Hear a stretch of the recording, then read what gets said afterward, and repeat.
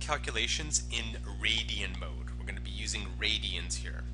So the arc length formula when you're in radians is uh, a nice simple one. It's S equals our R theta, where S represents the arc length of the circle, R represents the radius of the circle, and theta represents the measure of the central angle of the circle.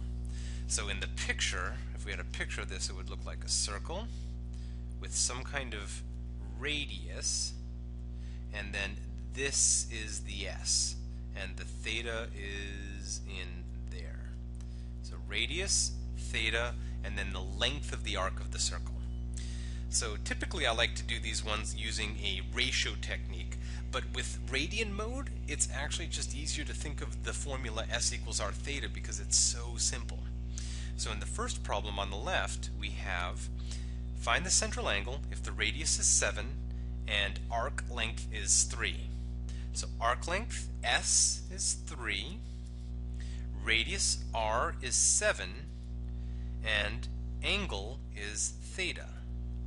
So what are you going to do to isolate theta? Divide both sides by the number 7, and therefore theta is equal to 3 sevenths. Final answer. If it does ask you to round it, for example, let's round this just for practice to the nearest hundredth. We should have an answer of 0.428 if we do it on the calculator. So rounding to the nearest hundredth, that would be 0.43.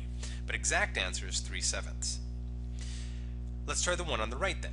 It says find the radius if the arc length is 6 and the central angle is pi over 3.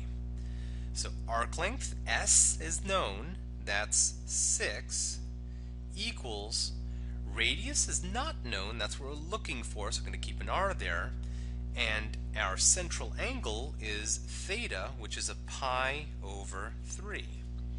So if my goal is to this time isolate the R, because I'm looking for the radius, I'm going to multiply on both sides by the quantity 3 over pi. So there's a 3 over pi that I'm multiplying on both sides because this is going to cancel and leave me with r.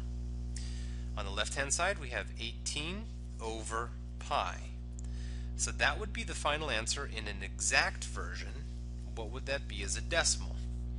Well, 18 divided by pi is 5.729 5.729 so if we round to the nearest hundredth this would be 5.7 and the 9 pulls that 2 up to a 3 so 18 over pi is exact 5.73 is an approximation.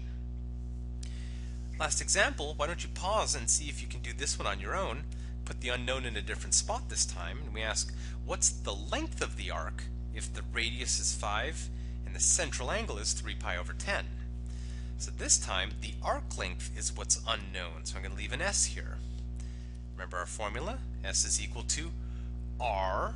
R is the radius, so that's 5.